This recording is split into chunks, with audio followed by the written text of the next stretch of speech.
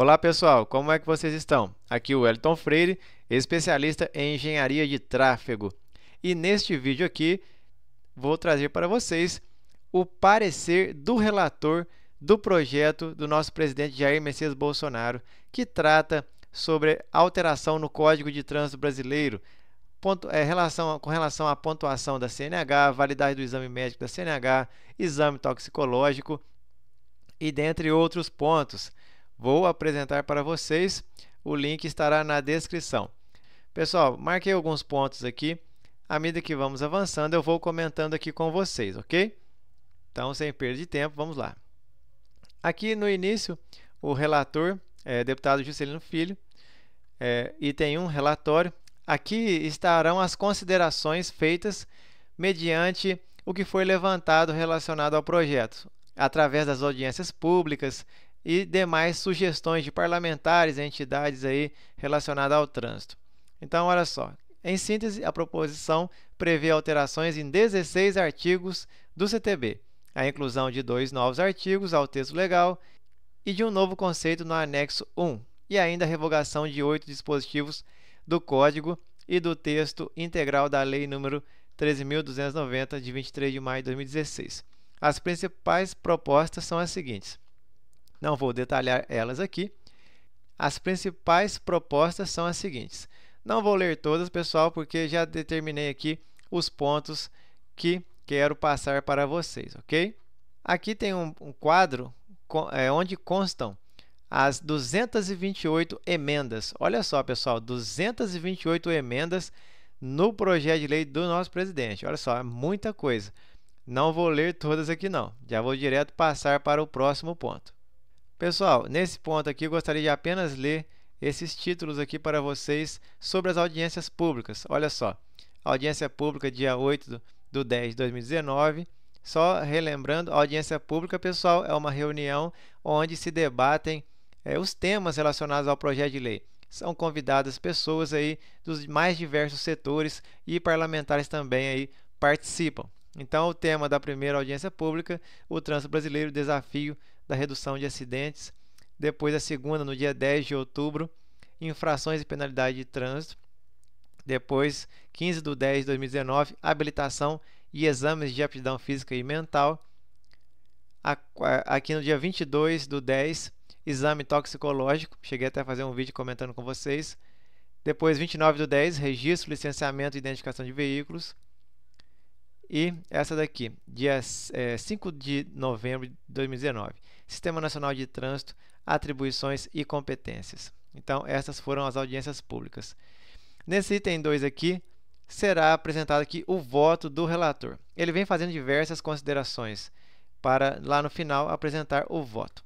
Aqui apresenta, ele apresenta, ó, surgiram inclusive pedidos para que o governo retirasse o projeto de tramitação, sob a alegação de que as propostas iam no sentido contrário da segurança no trânsito, que em nada contribuem para salvar vidas. Olha só. Então, é, ou é, tiveram aí pedidos para que esse projeto fosse retirado.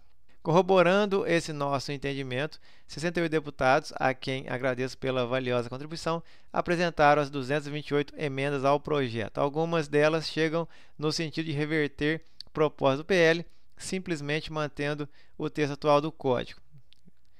Sabemos que iriam haver aí divergências entre os parlamentares.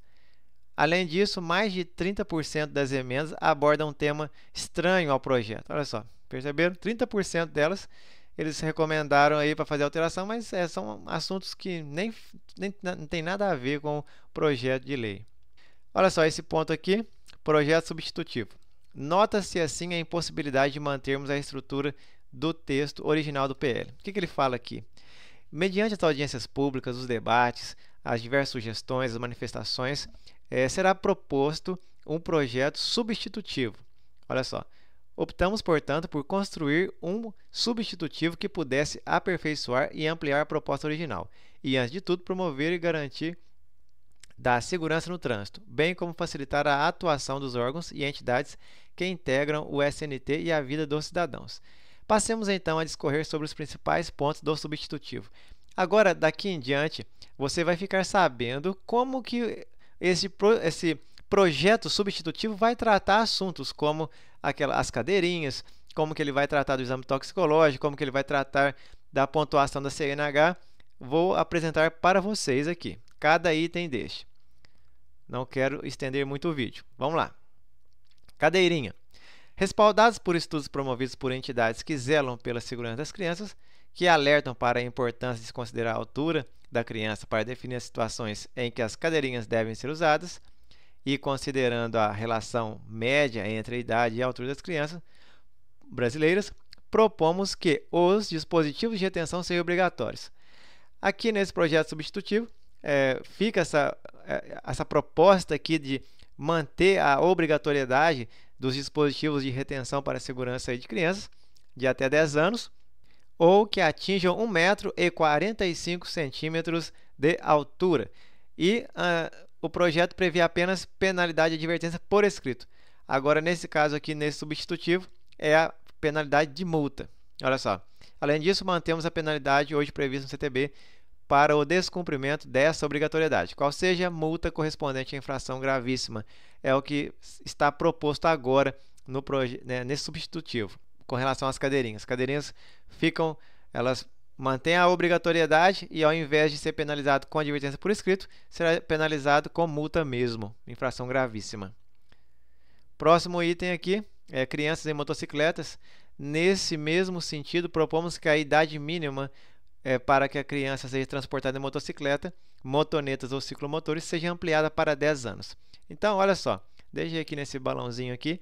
Atualmente a idade mínima é de 7 anos, artigo 244, inciso 5 do Código de Trânsito Brasileiro. O que vocês acham? Acham que 10 anos está ok? Acho que aumentaram demais? Deveria ficar 7 anos? Deixem aí nos comentários. Vamos prosseguir. É, ainda com o olhar voltado para a defesa da vida. Vamos ver o que está escrito aqui motos nos corredores. Acolhemos importante proposta constante de emenda apresentada: proibir o tráfego de motocicletas, motonetas e ciclomotores pelo corredor. Ou seja, neste projeto substitutivo agora, ele vai ter essa proibição é, de, de tráfego de motocicletas, de motonetas e ciclomotores pelo corredor. Contudo, tem essa ressalva aqui. Ó. Propomos que seja permitido o tráfego entre veículos de de filas adjacentes quando o trânsito estiver parado, ou seja, quando o trânsito estiver parado, eles vão permitir o tráfego, ok, das motocicletas no corredor, com a velocidade inferior a 10 km por hora, ou em outras situações de tráfego, quando o órgão com circunscrição sobre a via assim o autorizar. Ou seja, fica proibido o tráfego de motocicletas nos corredores com os veículos em movimento, porém com o veículo parado fica permitido, desde que a velocidade seja inferior a 10 km por hora ou situações que o órgão de trânsito aí, com circunscrição sobre a via autorizar. Próximo balãozinho aqui, validade do exame médico. Aqui, pessoal, aquela famosa é, validade da carteira, sabemos que é a validade do exame. Da análise das diversas opções, construímos proposta que amplia para 10 anos o prazo para renovação de condutores de até 40 anos. O que, que eles fizeram aqui? Eles fizeram um escalonamento de idade. O que, que vocês acham disso? Fizeram um escalonamento.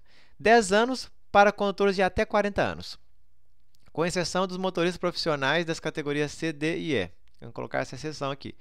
Mantendo o prazo de 5 anos para os condutores de 40 a 70 anos. Ou seja, condutores que tiver idade de 40 a 70 anos, continua 5 anos. E de 3 anos para condutores com idade superior a 70 anos. O que vocês acharam aqui? Essa parte aqui da categoria C, D e E me pareceu um pouco estranho aqui do jeito que eles colocaram. Mas acredito que será objeto aí depois de análise para é, maiores esclarecimentos. Vamos prosseguir. Próximo balãozinho aqui, exame toxicológico. Esse aqui, pessoal, que deu muita polêmica aí é, entre os que são a favor e os que são contra. Vamos ver aqui o que, que eles decidiram. Olha só. A questão do exame toxicológico também merece destaque. A proposta de acabar com a obrigatoriedade dos exames de larga janela de detecção para motoristas das categorias C, D e E foi alvo de críticas nas reuniões. Isso, isso é realmente fato. Se vocês acessarem o canal da Câmara, vocês vão ver que realmente houve muita crítica. Agora, é, não vou ler isso aqui tudo, depois vocês vão poder ler com mais calma. Eles é, concordam, olha só, concordamos com, a, com essa maioria e defendemos que a exigência seja mantida. Esse aqui é o voto do relator. Primeiramente, a inclusão da obrigatoriedade no CTB foi aprovada. Fala que foi aprovada no Congresso tal, e não estariam querendo voltar atrás dessa decisão. E aqui, pessoal, olha só. Além disso, propomos que o exame seja realizado somente para fins de renovação da CNH, eliminando a exigência de submissão a exame na metade da vigência. Perceberam? Fizeram essas alterações aqui nesse substitutivo. Próximo item, município registrar os ciclomotores. Hoje, quem é a competência para registrar os ciclomotores é o Estado. É, foi publicada uma lei federal que tirou essa competência dos municípios e passou para o Estado. Porém, nesse substitutivo aqui, volta para a competência dos municípios. O substitutivo inova também ao conferir competência aos municípios para registrar e emplacar os ciclomotores, hoje destina, designada aos órgãos de trânsito estaduais. E tem essa ressalva aqui. Ainda com relação a esses veículos, propomos dispensar o candidato à obtenção da autorização para conduzir ciclomotores de participar do curso teórico técnico e do curso de prática de direção veicular. Perceberam? Tiveram essa inovação aqui. Pessoal, já estamos finalizando o vídeo aqui. Está ficando um pouquinho grande, mas aí eu finalizo com vocês essa parte do parecer aqui do relator. Esse item aqui é o item da pontuação da CNH. Aqui eles fizeram uma, um escalonamento, uma subdivisão. Olha só. Outro ponto bastante polêmico trazido pelo projeto de lei é o que aumenta de 20 para 40 para 40. O limite de pontos necessários para que ocorra suspensão do direito de dirigir do condutor infrator. Em que pese a alegação do governo de que o limite atual é bastante rigoroso, principalmente para aqueles que exercem atividade remunerada ao volante, entendemos que a simples ampliação do limite pode estimular cometimento de infrações que atentam contra a vida e a integridade física das pessoas. Aí eles vêm com a proposta, olha só. Propomos assim uma escala com três limites, é, com três limites de pontuação, em que a CNH seja suspensa. Olha só, com 20 pontos, se o condutor tiver duas ou mais infrações gravíssimas, com 30 pontos, se tiver apenas uma infração gravíssima, ou 40 pontos, se não constar entre as suas infrações nenhuma infração gravíssima. Dessa forma, contemplamos a proposta do PL no sentido de tornar o sistema mais operacional sem descuidarmos da segurança do trânsito. Achei bem interessante essa subdivisão que eles fizeram aqui. Aqui as pontuações das infrações administrativas, é, também o, é, esse substitutivo aqui, ele propõe a isenção. Olha só, acolhemos proposta que isenta os pontos relativos a infrações de natureza gravíssima, ou seja, aquelas que não colocam em risco a segurança no trânsito. Muito interessante também isso daqui. Pessoal, finalizou aqui o conteúdo. Aí, o, esse, essas foram as considerações que o relator fez com relação ao projeto do presidente, mediante o que foi levantado em audiências públicas e demais sugestões. Aí ele finaliza aqui, ó. Assim, pelas razões expressas, votamos pela constitucionalidade, juridicidade e boa técnica legislativa, pela adequação orçamentária e financeira, e no mérito pela aprovação do PL 3267 de 2019 e das emendas, aí são essas aqui. Esse é o voto do é, relator.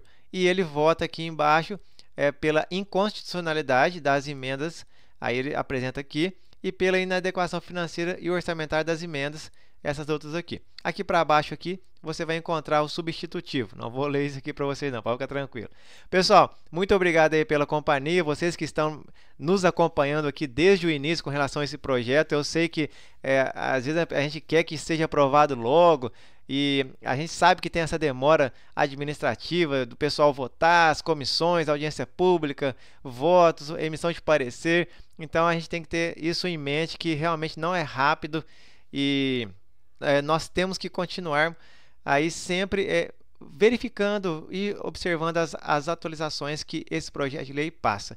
E eu estou aqui para ajudar vocês com este ponto. Pessoal, um forte abraço para vocês e eu aguardo vocês, é claro, no nosso próximo vídeo.